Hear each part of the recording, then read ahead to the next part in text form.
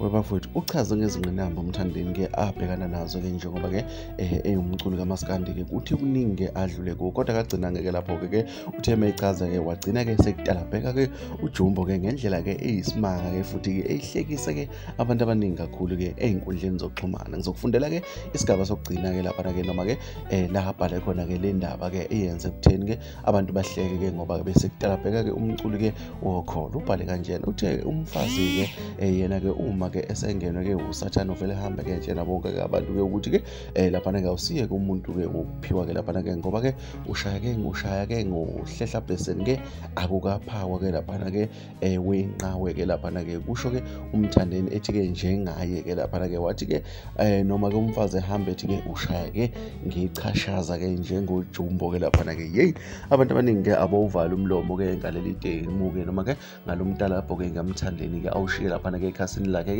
emva kokuchasa kabanzi-ke ngezingqinamba-ke abhekana nazo komakhelwane kabangani-ke abamjikelayo kakhulukazi-ke nasendimeni kamasikandi-ke okuyindlela-ke enkulu-ke ayihambayo-ke yokujabulisa-ke abathandi bomculo kamasikandi. Thina sisoka channel-ke sibonile cha asiyithathe sikubeke mbola simakhaya-ke sikunike khona-ke njengoba kunjalo-ke uphawule-ke nakho-ke umthandeni-ke ethi ujumbo-ke ushaya-ke ngechashaza-ke laphana-ke sazi-ke bafowethu-ke uma-ke izinto zikanje thina-ke sikunika khona njengoba kunjalo ungakhohlwa ukusubscribe-ke uphinde nje Mà 玫瑰